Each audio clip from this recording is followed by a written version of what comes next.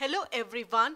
We all know matter is made of atoms. This means the mass of matter is because of atoms. Then how much is the mass of an atom? Dalton said all atoms of an element are same in mass and size. So what is that mass?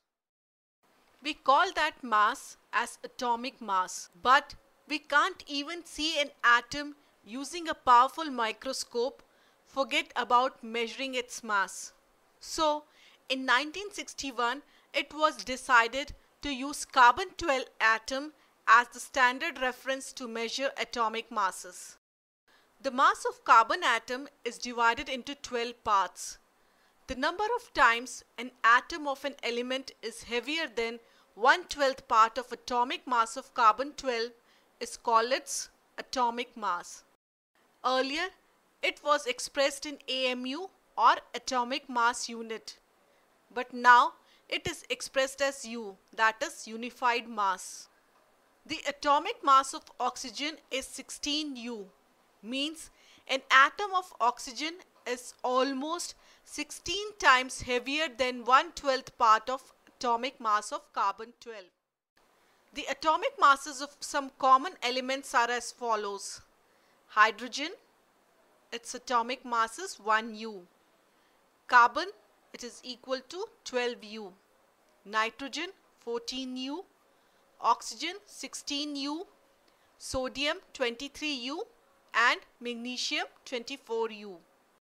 But how is it useful to know the atomic masses of element?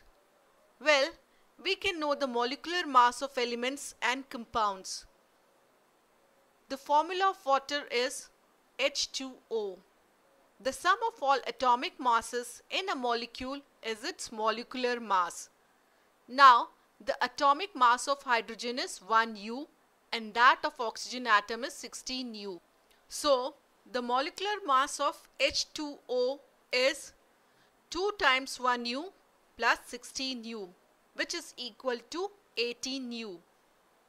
As the water molecule consists of two hydrogen atoms and one oxygen atom. We can also say the other way that is 18U water has only one molecule of water.